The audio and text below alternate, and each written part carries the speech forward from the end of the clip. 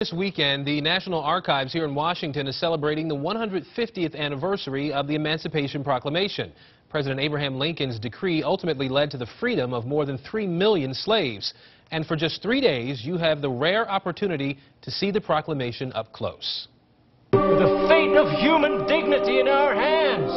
Hollywood's version of Abraham Lincoln making the case for the 13th Amendment.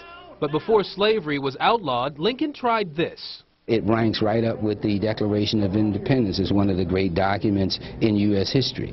The original Emancipation Proclamation preserved at the National Archives, to some among the most significant works on human freedom.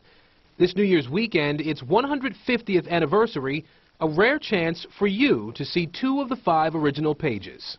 You know, when you actually hear about the document or you read about it, but when you can see it up front, and see uh, Lincoln's signature and, and all of the other uh, provisions of the document, uh, it, it brings the document to life.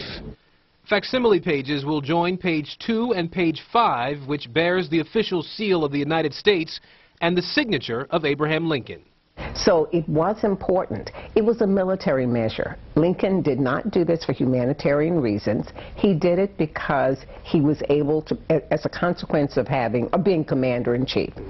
Howard University professor Edna Green Medford has written extensively on the proclamation. She says Lincoln's main goal with the decree was to preserve the Union and throw the South into chaos.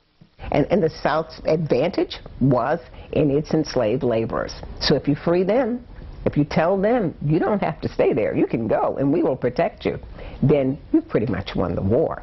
And committed the nation to the idea of equality for all. It's a fight that continues and the reason that thousands will likely visit the National Archives on this 150th anniversary.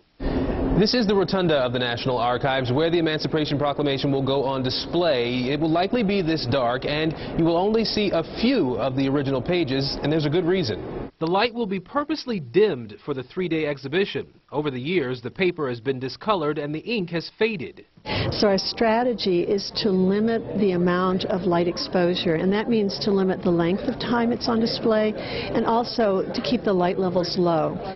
A strategy to preserve a record of our national new way of thinking, one that may not be displayed here again for years.